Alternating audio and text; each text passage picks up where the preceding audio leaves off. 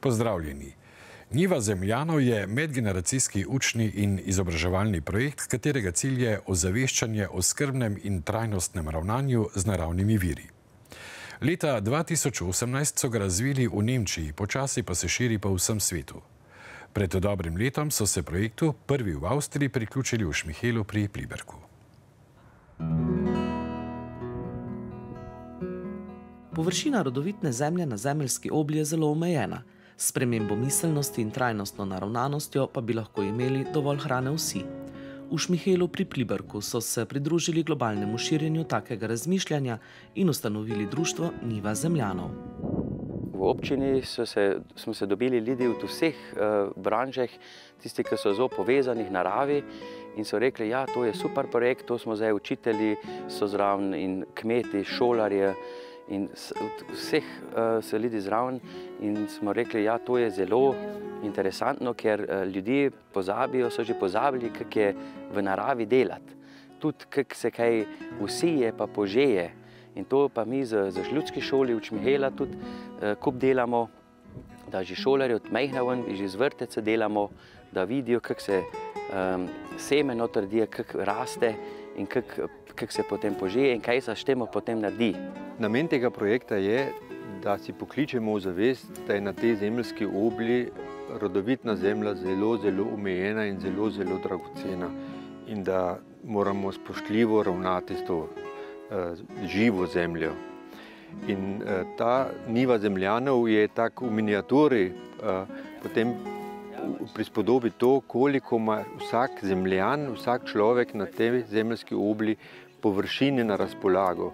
Zdaj vse glih, a sem doma v Kazahstanu ali pa v Peruju, to nima veze, ali pa tu pri nas, povprečno ima vsak zemljan ali pa zemljanka 2000 kvadratnih metrov na razpolago.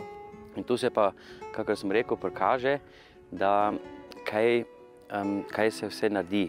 Od uh, futr za žovat in potem pa tudi pšenico in uh, turko, uh, kako se reče zdaj za zelenjavo in um, sadje.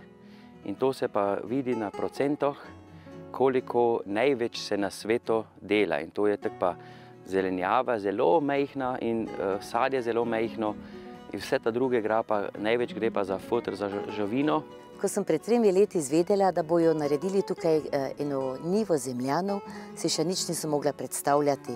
Potem je pa moj sin povedal, kako, kaj nameravajo in potem sem že lani videla, kako to lepo uspe in da se otroci učijo, iz vrca pridejo in iz šole, potem vidijo, kako se raste in potem tudi, ko se pobere. Mi smo bili povabljeni, potem smo prišli sem, smo si to pogledali in, in jaz sem si mislila, da to je zelo smisel projekt tudi za naše prihodne, za naše otroke, tudi za našo naravo in tudi za to, da se ceni zopet to, kar raste na polju na vrtu. In da se to lahko sam, vsak si lahko nekaj pridela, če ima ljubezen do narave. V projekt so se vključili ljudje različnih poklicev, ki želijo skupinsko, ekološko in trajnostno kmetovati. Zelo dejavni so na njivi zemljano otroci in zaposleni iz Šmihelskega vrca ter ljudske šole Šmihel. Mi smo tukaj sicer na podeželju doma, ampak otroci doma pogosto krat nimajo te priložnosti, da, da rijejo po zemlji, da pobirajo repico, krompir uh, in podobno. Tega, tega, tudi če smo na podeželju, tega otroci nimajo več. Pomagam. Krompir, kopac, pa travo kositi. Cepim pa netim. Kalivam, pa liki, požajem. Čeprav je njihova njiva manjša od 2000 kvadratnih metrov, je dela in prostora več kot dovolj za vse. In zdaj smo vključili tudi mlade ljudi, tisti, ki so naredili en prekršek.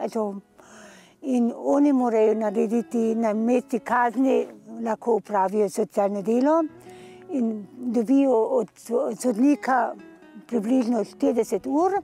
In tiste 40 ur potem delajo na, pri nas na nivi, mi, mu, mi pokažemo, kako se pleje, kako se dela z rastlinami in oni veliko profitirajo tudi zase, ker vidijo, in, in na mestu kazni. In mi jih tudi potem vključimo v našo skupino in, in smo naredili zelo le, dobre izkušnje. Ne. Neka, ena, ena punca je rekla, to je zelo meditativno. je rekla, se tako pomiri na polju, tukaj ima, da, ima, da je zelo koristno. Ne. Za učne namene so naredili tudi koreninsko opazovalnico. Ein Wurzelfenster ist eine Veranschaulichung für Pflanzen, damit man sieht, was unter der Erde stattfindet. Äh, die Idee dazu stammt von Österreich. Auf einer Universität wurde das erstmals getestet und das, was hier gebaut ist, ist in kleinem Maßstab und es ist halt wichtig für Kinder, damit sie sehen, nicht nur die Pflanzen, die was auf dem Boden wachsen, sondern was auch alles, sich, was alles unter der Erde stattfindet. Nicht nur sichtbar werden hier Wurzeln, wo man dann beobachten kann, sondern auch sämtliche Tierwelt, die unter der Erde, sprich Regenwurm, Asseln und so weiter, äh, die sind dann zu bestaunen. Äh, hier beim Wurzelfenster, äh, die Idee ist relativ neu und erst kürzlich entstanden. Äh, die Pflanzen, die hier eingesetzt wurden, sind erst fünf Tage alt und deshalb sind noch nicht wirklich die Wurzeln hier sichtbar. Ob mizah, klopeh in zbiralnikih vode so poskrbeli še za biološko stranišče.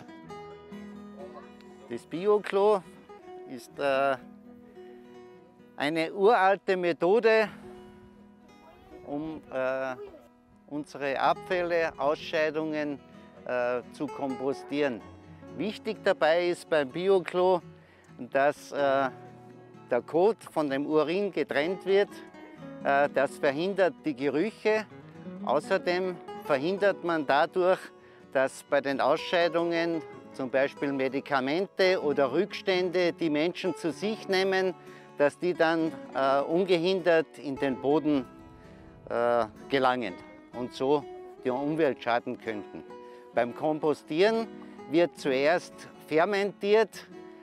Äh, dieser Prozess äh, passiert unter luftdichten Abschluss und äh, nach einer gewissen Zeit wird dann mehrmals in mehrere Schichten kompostiert, so dass äh, dann im Endeffekt die sogenannte Terra Preta diese Wundererde für die Pflanzen äh, dann als Dingemüttel, Dingemüttel gilt.